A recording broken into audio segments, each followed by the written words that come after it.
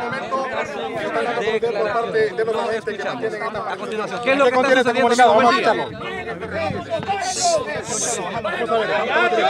Bueno, buenos días a todos los medios, al pueblo en general. A continuación daremos a conocer un comunicado en el cual expresamos que nosotros no estamos en una cuestión política. El comunicado contiene lo siguiente. República de Honduras, Secretaría de Seguridad, Dirección General, Policía Nacional, Dirección Nacional de Fuerzas Especiales, comunicado. Al pueblo hondureño en general, la Policía Nacional, como institución profesional permanente del Estado, apolítica, apolítica, en el sentido partidista de, de naturaleza puramente civil, encargada de velar por la conservación del orden público, la prevención, control y combate del delito, proteger la seguridad de las personas y sus bienes, ejecutar resoluciones, disposiciones del mandato y decisiones legales de las autoridades y funcionamientos públicos, todo con restricto apegado a los derechos humanos.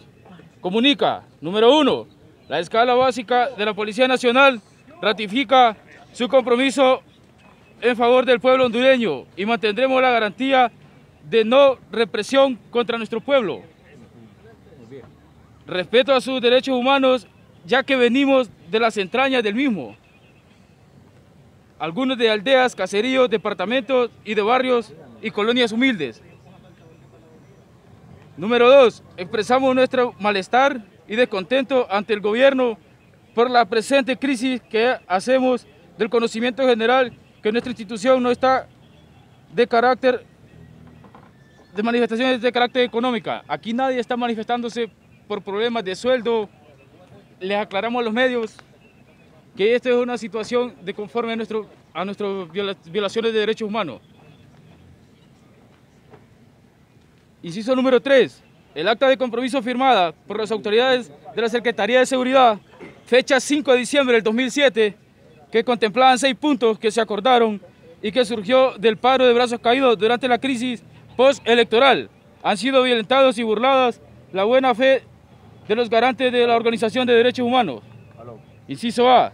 No ejercer ningún tipo de represalia contra compañeros que fueron los voceros del paro anterior, muchos de los cuales fueron despedidos de manera arbitraria y sin justificación alguna. Exigimos la reintegración de los mismos, de los mismos. Inciso B. La las reservaciones de los seguros, las, revisiones, perdón, de los seguros de vida tampoco han mejorado.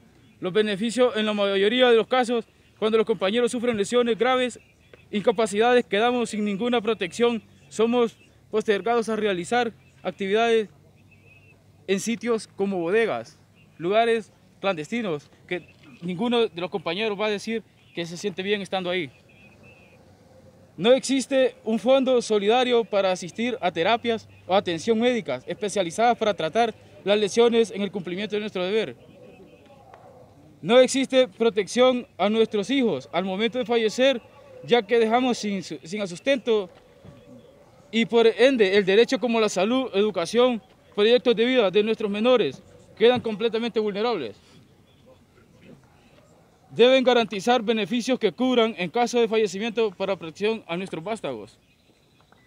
Numeral 4. Durante el desempeño de nuestras labores surgen situaciones que no, son, no, se involucran, no se involucran en hechos de legitimidad, defensa a la institución. Nos dejan abandonados, lo que recibimos de, de manera inmediata es el despido.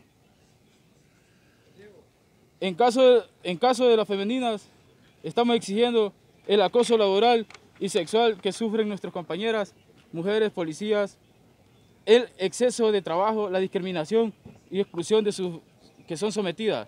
Al no, responder, al no responder con estas negatividades a acciones, aunque presenten denuncias, no son investigadas, ni tampoco son, sancionadas. A los responsables de estas, asigna, de estas que asignan prácticas que dañan la dignidad femenina deben garantizar la protección en estos casos. Número 6.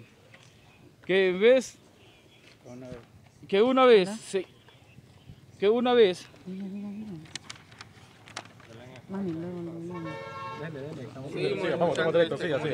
que, que una vez se cancele a los policías, se les otorgue todos sus beneficios laborales como una garantía constitucional, ya que en el decreto que dio vida a la, a la- al ente depurador viene a dañar la estabilidad laboral y por ende deja a nuestras familias en, cal- en calidad, en calamidades domésticas, porque nos califican al salir de la institución como personas que no tenemos méritos morales para laborar en ninguna empresa en el país gozar de vacaciones profilácticas que conlleven a un buen desempeño de nuestras labores que eviten el deterioro de nuestra salud física y emocional. Mantener de manera periódica reu- reuniones con el personal de escala básica, que es donde descansa la carga laboral dentro de la institución de cara a la atención en la comunidad del país. Numeral número 9.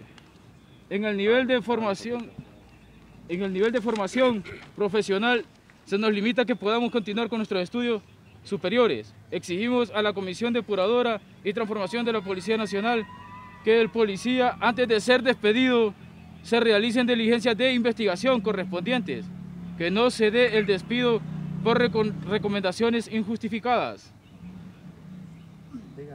Exigimos auditoría forense a los fondos de la tasa de seguridad en vista a que no existen.